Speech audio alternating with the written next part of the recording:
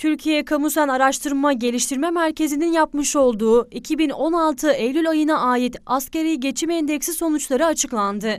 Son toplu sözleşmede tarihi başarı elde ettik diyen sendikanın bütün foyaları dökülmeye başladı.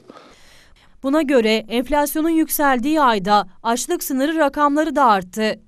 Toplu sözleşme sonuçlarını uygulattıramayan bir sendika anlayışıyla Türkiye karşı karşıya, kamu çalışanları karşı karşıya 4 kişilik bir ailenin asgari geçim sınırı 4729 lira oldu. Tabii verilen oransal zamların da artık e, Türkiye'nin ekonomik gerçekleri karşısında kamu çalışanları için, emeklilerimiz için yeterli olmadığı çok net anlaşılıyor. Artık Türkiye İstatistik Kurumu'ndan alınan Eylül 2016 fiyatlarına göre yapılan araştırmada çalışan tek kişinin yoksulluk sınırı ise 2332 lira.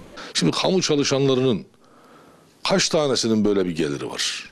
Araştırmaya göre bir memur ortalama maaşının %66'sını yalnızca gıda ve barınma ihtiyaçlarını harcamak zorunda kalıyor.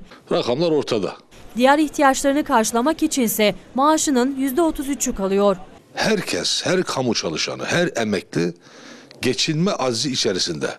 Ortalama ücretle geçinen bir memur ailesinin ulaşım, sağlık, eğitim, haberleşme, giyim gibi diğer zorunlu ihtiyaçlarını karşılaması için maaşından geriye yalnızca 914 lira kalıyor.